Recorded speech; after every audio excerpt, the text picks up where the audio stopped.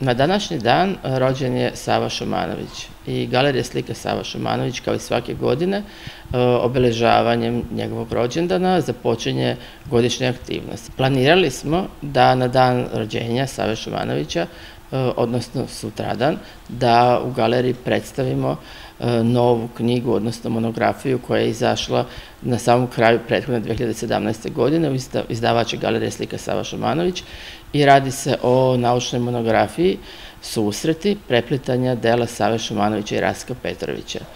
Sam ovaj prošireni naslov govori o čemu se radi u knjizi, zato što je odnos Raska Petrovića i Save Šumanovića nešto što je e, veoma interesantno i evo sada se po prvi put e, predstavlja, odnosno naučno obrađuje taj e, veoma interesantan odnos dva velikana naše umetnosti koji su u stvari nosioci avangardnih ideja prve polovine 20. veka u našoj nacionalnoj umetnosti.